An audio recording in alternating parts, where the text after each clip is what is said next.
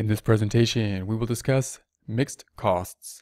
In prior presentation, we discussed the concept of breaking out costs, not how we normally see them on the income statement by their function, by what they're due, by what their purpose is, but instead by behavior, by how they act.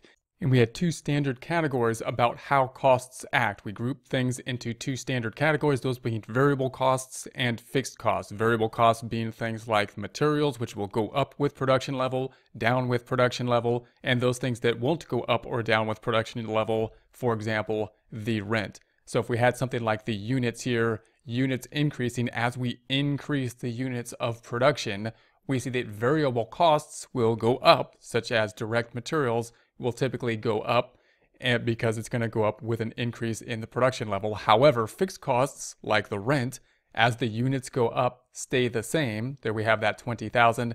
Total costs then have a variable and fixed component to it. So we've seen this in prior presentations. If we were to graph this then, we could see it clearly on the graph here. This 20,000 represents the fixed cost, this red line being the fixed costs that are staying the same as the production level increases. The red line uh, stays the same.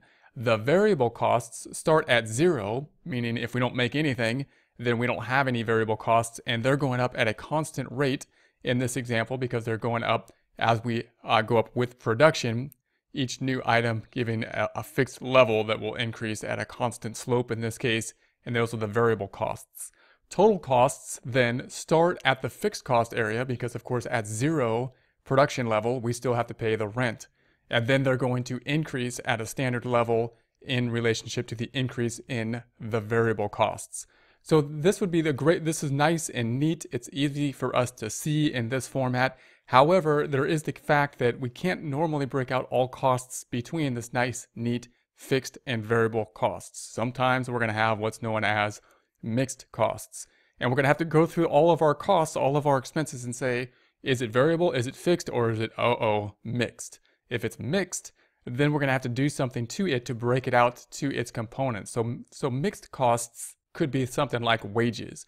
Because wages, we know it's going to have maybe a salary component. We're going to have part of the wages that are salaries, and we might have part of the wages that are commission.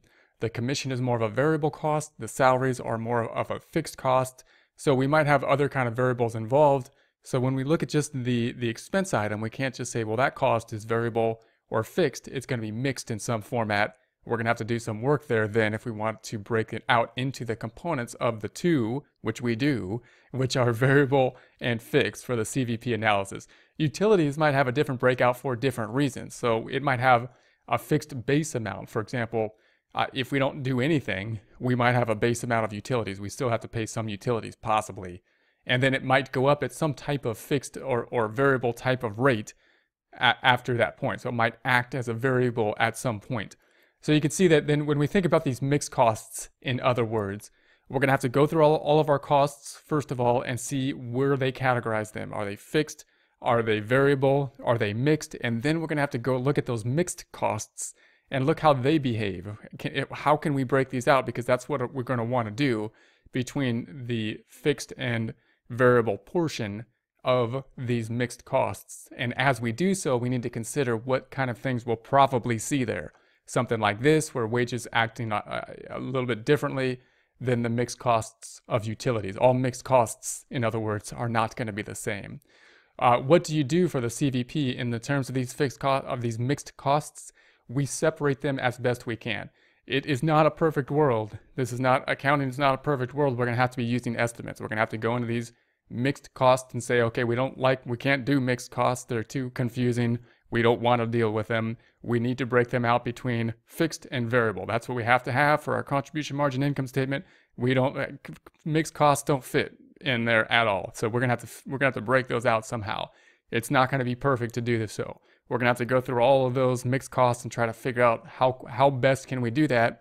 And there's certain methods to do this. Now, remember, these methods are not generally accepted accounting principles. They're not written in stone anywhere. These are best practices for us to try to consider how best we can break these out so that we can do the work of projections into the future, which, of course, in and of themselves are not perfect. They're estimates, they're projections into the future. So we're not, financial accounting is more about us taking something that already happened and reporting it in accordance with a, with a certain set of rules. Here, we're projecting into the future. So we're trying to think, what's the best thing we can do? What matters in terms of our decision making? What doesn't matter in terms of our decision making? How can we break these out in some type of way that's a good estimate that will help us for, for decisions, but also doesn't cost too much for us to be, uh, you know, grinding these numbers out forever, right? We can grind numbers out forever. So one way that the, the mixed costs could be broken out is we could have a stepwise type cost. And this might be something like salaries. We might see this in salaries where, uh, you know, the salaries act kind of variable for a while and then they plateau and they and they become fixed. So we might see in terms of uh, administrative salaries, this might happen where you know it's it's it goes it, it's fixed for a certain amount because they have salaries and then maybe at some point in time there's bonuses or maybe at some point in time after a certain production level then there's a salary increase or something like that and therefore we see this kind of step pattern for those type of costs well, when we see that type of pattern, we can we can say, okay, we see we see this type of pattern, we can predict that type of pattern. We can we can take that into consideration when we consider our forecasting into the future, our projections. We can usually treat it then as either fixed or variable by analyzing this pattern and just and thinking about, okay, is this the relevant range when we're talking about a, a variable type of range, or is this the relevant range that we're thinking about in our projection that's a fixed type of range? And therefore, within our, our analysis, we may be able to break out within those ranges, whether it be fixed or variable. That's one way we can kind of step or, or treat a certain type of mixed costs when we see this type of pattern.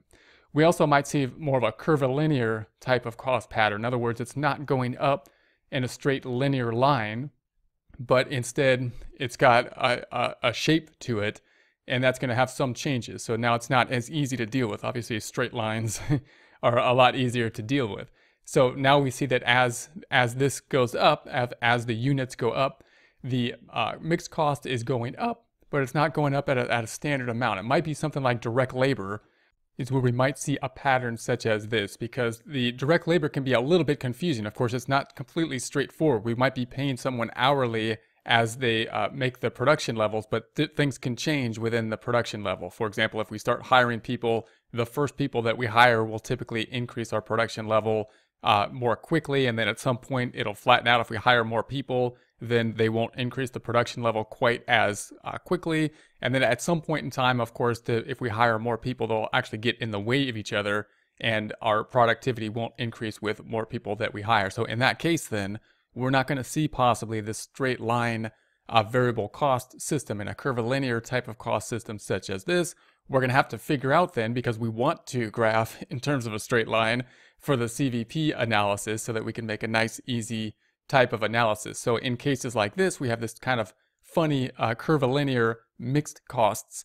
We're going to have to figure out some kind of ways, well, how can we break this out into such a way that make it strictly variable and a strictly fixed type of portion that's what we'll need to see more of a linear type of fashion so that we can put this into a contribution margin income statement so we can use projections into the future. We'll discuss a few ways to do that in future presentations.